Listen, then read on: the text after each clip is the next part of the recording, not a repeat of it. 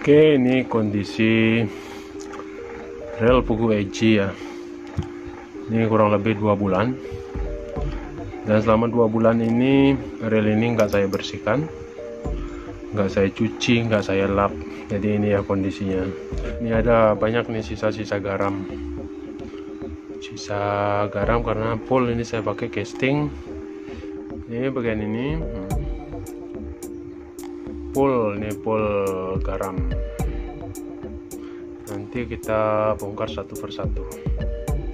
Kita lihat dalamannya kita lihat bearingnya apakah mengkarat oke kita langsung mulai aja ya. Di pugu sebelumnya itu cepat sekali mengkarat yang namanya knobnya ya. Knob di sini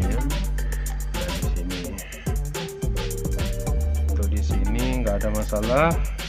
Dari mur juga bagus nggak ada mengkarat. Oke, ini benar-benar nggak ada masalah ya.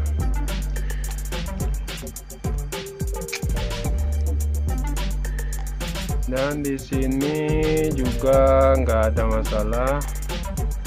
Banyak sekali itu garam-garamnya biasanya kalau reel biasa sih umur satu minggu aja kayak Pugu Ryu sebelumnya yang saya pakai ya. Pugu Ryu 1 saya 1000 nah itu satu minggu udah kelihatan karat di bagian sini. Terus ini di sini nggak ada masalah tinggal nanti dibersihkan aja. Lanjut di sini.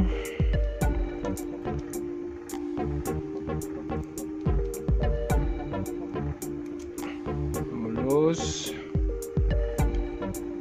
untuk bearingnya sendiri. Untuk bearing gak ada masalah ya. Nah, bisa dilihat dari putaran. Gak ada masalah ya. Aman ini pulponya nih. Ini real garam semua isinya. Ini sengaja memang gak saya bersihkan untuk melihat kualitas dari rel buku Eji ini. Kita lanjut langsung buka pinnya.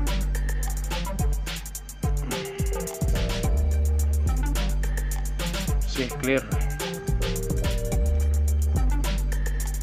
Kita ambil seal penutup dari murnya. Terus di sini juga nah yang awal itu punyanya buku ya buku Rio.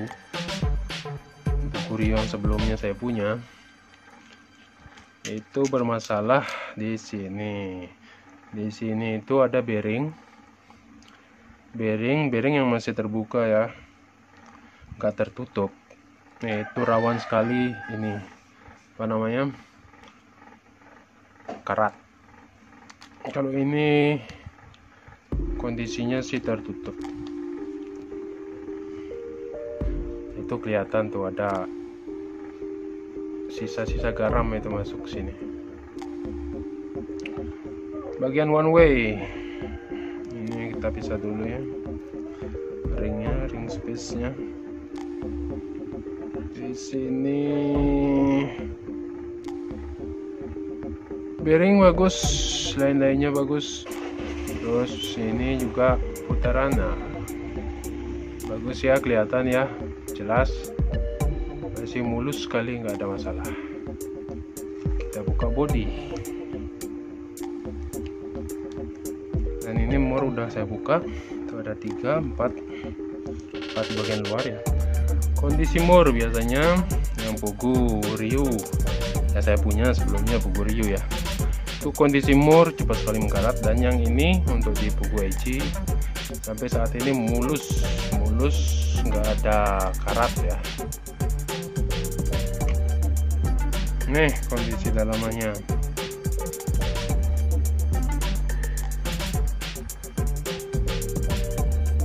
Kondisi dalaman dari reel buku Eji setelah dua bulan pemakaian. Tanpa saya bongkar tanpa saya guyur air apa namanya air tawar ya air tawar setelah trip jadi ini sama sekali benar-benar nggak saya bersihkan nggak saya lap nggak saya elus-elus selesai trip langsung saya taruh. Udah gitu.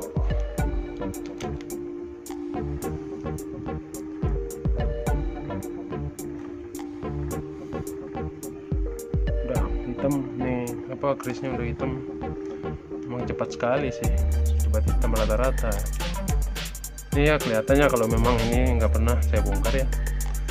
Kelihatan dari kris-krisnya bagian bodi sampingnya itu masih kosong kris. Dan ini kondisi yang saat ini. Jadi baru kali ini saya bongkar. Rencana sih setelah tiga bulan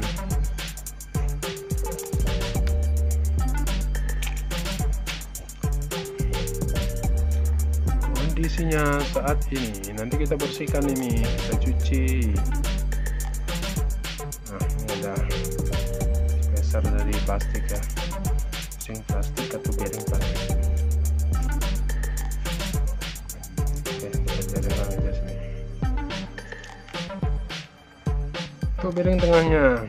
Ini kanan kiri ada bearing kondisi saat ini putaran masih bagus nggak ada kasar-kasarnya.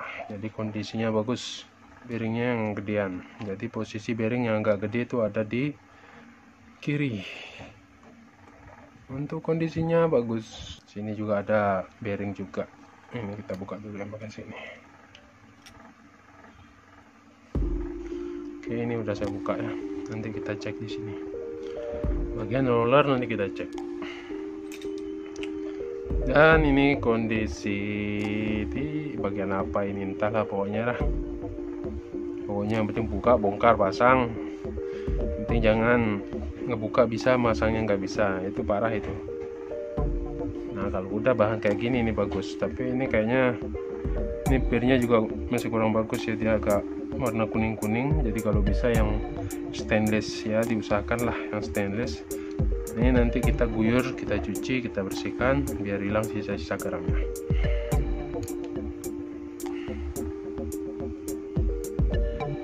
Nih kondisi yang sekarang.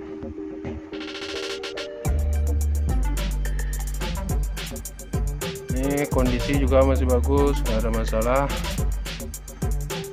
Dan untuk bearing kita lihat apakah masih bisa mutar mulus kelihatan ya. Jadi ini masih mutar mulus nggak ada masalah juga.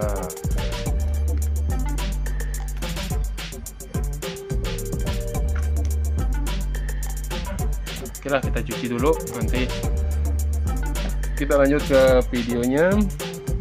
Setelah kondisi real selesai dicuci. Oke dan sekarang waktunya kita rakit kembali. Ini udah selesai saya cuci ya. Saya saya cuci kayak belepotan ngomongnya. Ini kondisinya nih setelah dicuci. Garam-garam udah minggat udah bersih. Nah mungkin kalian nih pusing yang lihat ya dengan empatnya yang udah saya obok-obok nggak karuan. Oh, saya obok-obok ini. Ini dan akan saya rakit kembali. Jadi nggak masalah walaupun diobok-obok ini kayak pecel tuh nggak masalah ya.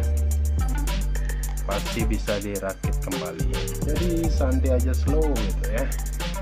Oke kita lanjut. Kita rakit lagi.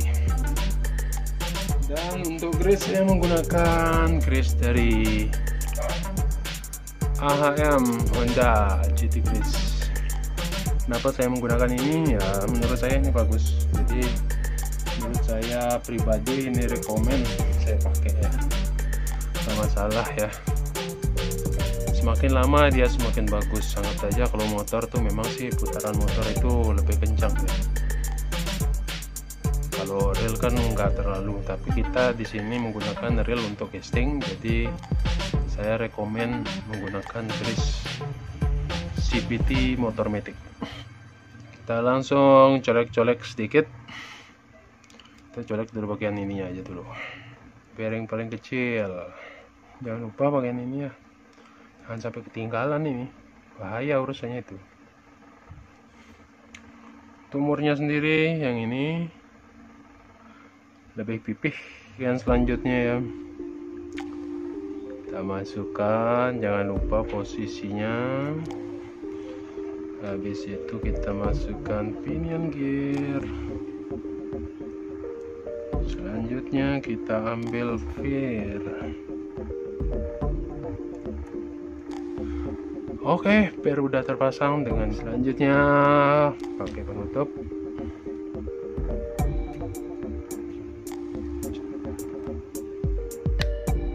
Oke, sampai sini udah terpasang di sini. Selanjutnya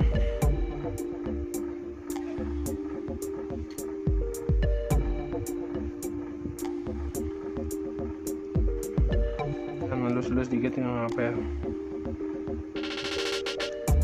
nah lubangnya ini umurnya ini jangan lupa ini paling kecil paling imut-imut unyu-unyu. Apa bagian ini ada dua. Jangan salah nanti.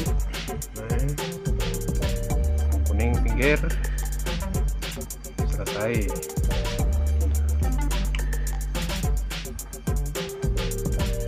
panjang masuk. Masuk sini. Dan yang ini masuk di sini. Di bagian ini ada nginjek di sini. Ini jadi gini posisi ya. Nih. Selanjutnya.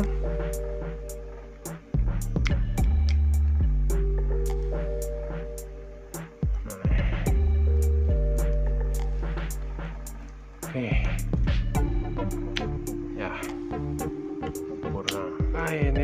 jangan lupa bagian sini ada satu. Kalau nggak ada itu cetak-cetak nanti bunyinya orang disco nanti cetak-cetak ya.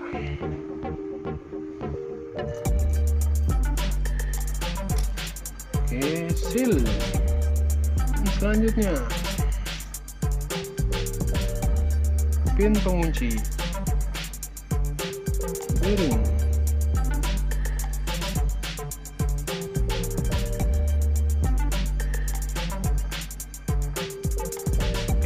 lupa bagian ininya.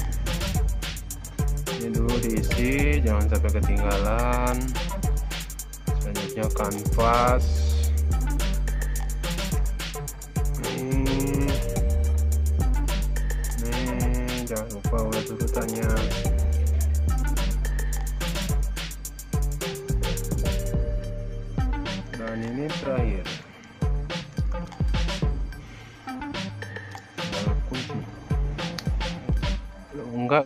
oke ah enak coy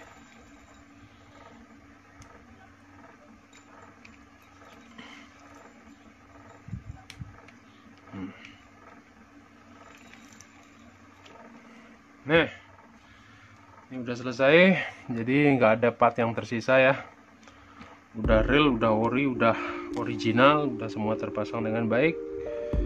Nggak ada yang tertinggal. Dengan kondisinya pun yang sangat baik.